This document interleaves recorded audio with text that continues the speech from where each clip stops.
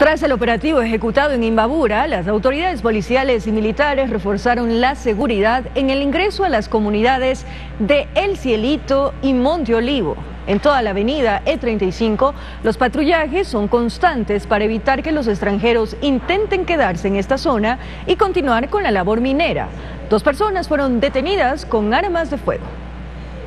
A raíz del operativo denominado Nuevo Amanecer en Buenos Aires, en la provincia de Imbabura, la policía en Garchi ha reforzado los ingresos a las minas del Cielito y Monteolivo, que están cercanas a Buenos Aires, para evitar que los mineros ilegales pretendan iniciar sus tareas en esta zona. Es así que dos individuos, uno de nacionalidad extranjera, fueron capturados cuando pretendían ingresar a la fuerza al sitio. En el vehículo se encontraron armas de fuego. Inmediatamente de que se puso esto y de que se dio la operación en Buenos Aires, nosotros pudimos eh, detectar a, un vehículo con dos ocupantes donde estaba eh, eh, abordado por un ciudadano colombiano, un ciudadano afroecuatoriano y eh, llevaban en su poder es un arma de fuego. Estos dos ciudadanos fueron puestos de inmediato a órdenes de las autoridades competentes, quienes les dieron prisión preventiva por porte ilegal de armas, de acuerdo a las investigaciones. Esta es una demostración de que dio resultado la, prevención de reforzar esos lugares, porque obedecía a esa lógica.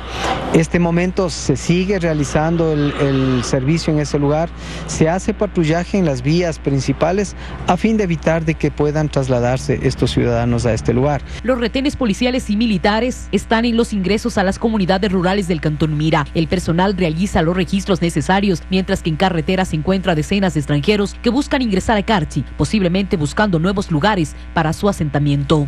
Sabemos de que han salido muchos de ellos en forma voluntaria, sin embargo, eh, atendiendo a esa lógica que de pronto si es que de ahí salieran, pudieran ubicarse aquí en la jurisdicción de Carchi, nosotros hemos reforzado cada uno de los puntos, esto es en el sector de Cielito, tenemos un buen contingente eh, policial, se, ha, juntado también eh, en una forma acertada, también es un contingente de Fuerzas Armadas que están en ese lugar. Con imágenes de José Cedeño desde la provincia del Carchi, informa Miriam Enríquez.